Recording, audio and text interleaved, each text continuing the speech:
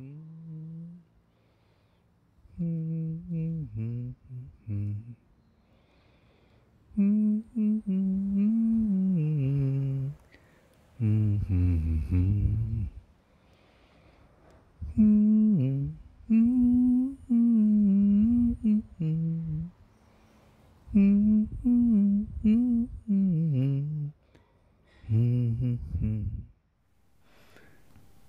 melhor caminhar antes das seis da manhã, quando o bairro dorme. A poluição é mínima e o barulho dos veículos suportável. Mas sempre aparece um motoqueiro em polvorosa no fim da noite. A máquina cruza o sinal vermelho e voa, não sei para onde. Os carros e ônibus se multiplicam, o cheiro do ar já é outro. Amanhece.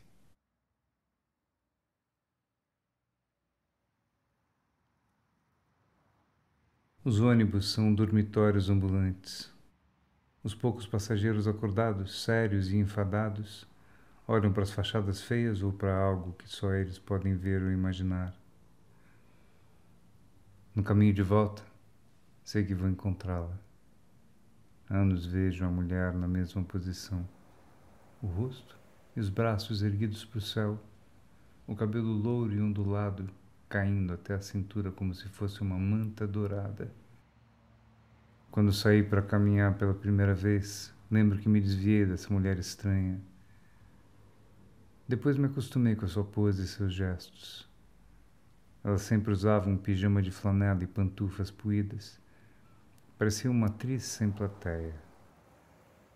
Uma atriz que encena uma peça com os mesmos gestos e figurino no mesmo cenário mas que muda o texto a cada encenação. Anotei num caderno palavras que ela disse nesse tempo em que fui um dos seus poucos espectadores, pedaços de frases que eu ouvia enquanto passava dois metros da manta amarela. Às vezes parava para observar o jardim da casa da atriz, um matagal denso, escuro, cheio de árvores frutíferas, que me fazia recordar os quintais da minha infância as últimas palavras que anotei foram: As asas da borboleta louca vão provocar um furacão. Vocês não acreditam? E Deus não merece tanto escárnio, tanto cinismo. Na semana passada não ouvi mais a voz dessa mulher. Agora as caminhadas serão tediosas sem a presença da atriz que dizia coisas insensatas, talvez verdadeiras.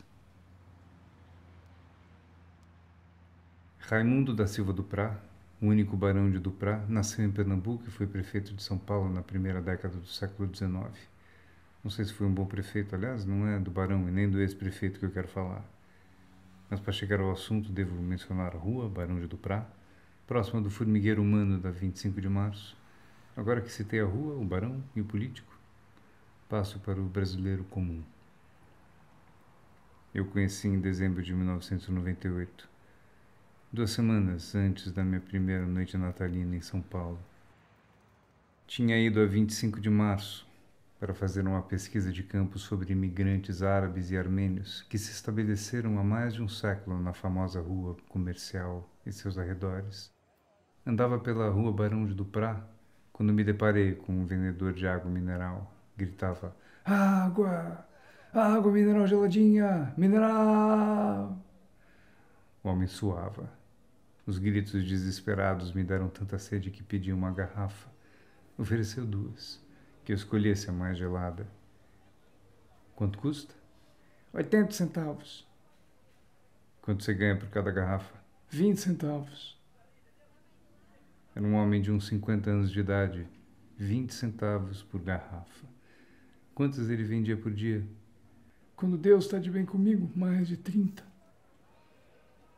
Fiquei por ali na calçada do Barão de Duprá, observando o vendedor de água mineral. Magro e pálido, sua força estava na voz. E a voz significava vontade de sobreviver. Mas não parecia triste nem derrotado. Quando a polícia se aproximava, ele segurava a caixinha de isopor, pegava um microfone velho e começava a cantar um chorinho. Que voz! Reconheci um dos chorinhos porque é um dos hinos de São Paulo. Jamais te esquecerei. Do grande compositor e violonista Antônio Rago, quando a polícia se afastava, ele colocava a caixa de isopor no chão e o canto era substituído pelos gritos. Perguntei o nome dele. Nome? Pode me chamar de Bandolim. Voltei para Barão de Duprá no sábado seguintes, mas não vi os gritos nem o chorinho. Terminei de fazer a pesquisa, passou o Natal, o século ficou para trás e perdi Bandolim de vista. Oito anos depois, no dia 12 de dezembro, quando eu atravessava uma pracinha escondida em Pinheiros, vi um velho sentado na grama, triste, entre dois violões toscos e belos. Quando me aproximei, reconheci Bandolim, mas ele não me reconheceu. Em 1998 eu era apenas um transeunte, um dos compradores de uma garrafinha de água mineral. Aquele homem que gritava para sobreviver e depois cantava na presença dos policiais era inconfundível. Envelhecera, mal vestido e mais pobre do que no outro Natal. Mas Bandolim não era mendigo. Ainda não. Ele mesmo fabricava os violões. Havia quatro anos morava nas praças e ruas de São Paulo, catando pontas e placas de madeira, latas e pedaços de arame. Com esse lixo, fazia seus violões e os vendia por dez reais, ou por quinze, quando dava sorte. Não cantava mais? Minha voz ficou pequena. Ele disse sem vontade. Não canto mais. Observei os dois violões, decidido a comprá-los. Por quê? Porque eu tocava e cantava para ela. Sua mulher? Bandolim me encarou e murmurou. Minha amada. Ela sumiu.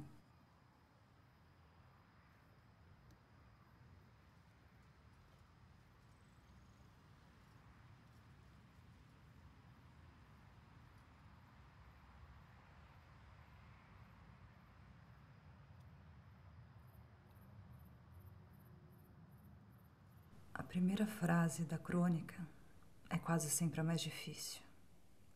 Mas quando as palavras aparecem no papel, a mão que segura a caneta fica mais leve, envereda para algum lugar desconhecido.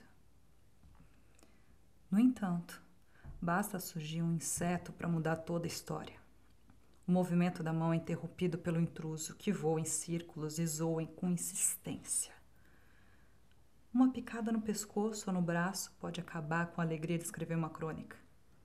Talvez seja melhor espantá-lo com uma revista ou esperar que ele se canse de girar e zumbir como um louco nesse espaço pequeno. Pode ser uma fêmea. Não sei precisar o sexo dos insetos.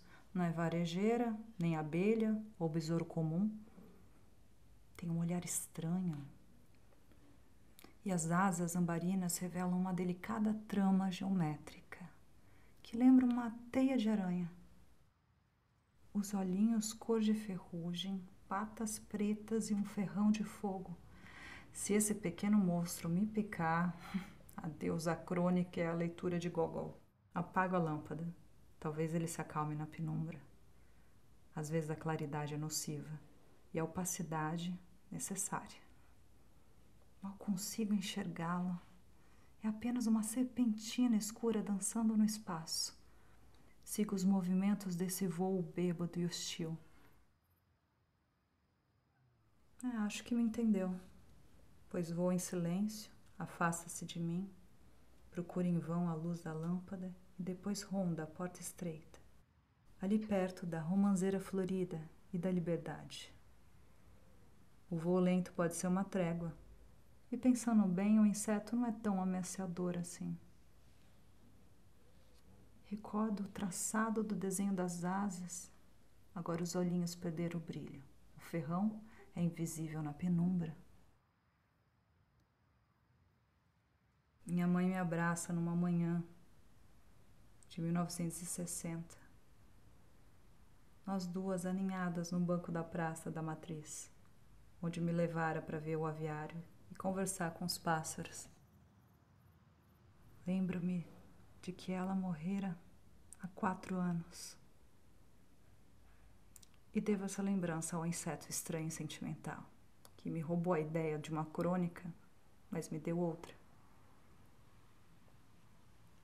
Agora, quando já escurece, é pegar a caneta e escrever a primeira frase.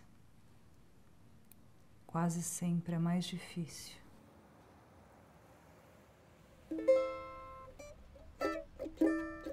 Sema, eu nunca mais eu te vi.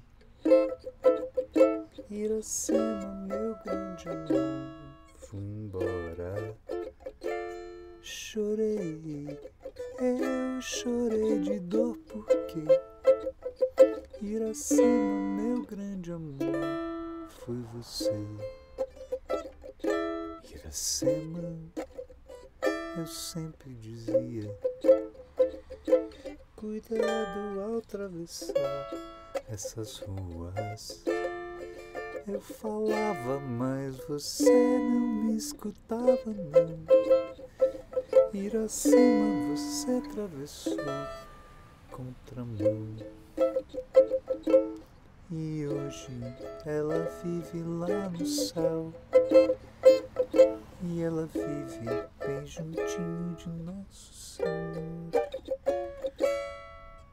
De lembranças guardo somente suas meias e seus sapatos. Iracema, eu perdi o seu retrato. Iracema, eu perdi o seu retrato. Iracema, eu perdi o seu retrato.